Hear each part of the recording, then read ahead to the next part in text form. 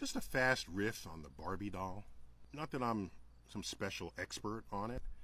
It can be criticized in all the ways people have about what effect it would have on the socialization of young girls.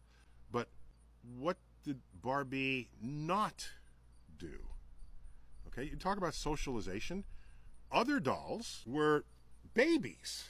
So you're a young girl and you're trained to care for a baby and feed it. And isn't that socialization? You're going to have to care for little children and that's going to be your job.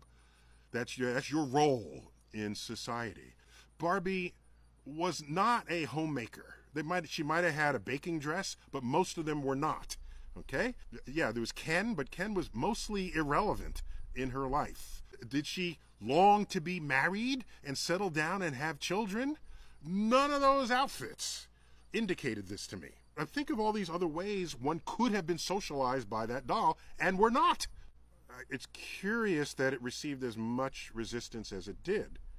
I guess for the one case regarding its body type, and not for everything else that might have been a socializing force. How about the G.I. Joes? Why did I have dolls as a kid that were soldiers? Wasn't I being socialized to go to war? To kill people I've never met before? I played with toy guns, for goodness sake. That's how old I am. Where was the outrage at the time over that?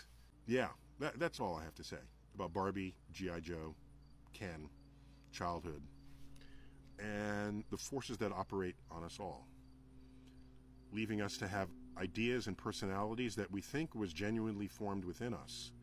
But at the end of the day, maybe they were imbued from outside of us, imbued within us from the outside, by people who actually hold the strings to manipulate us into adulthood.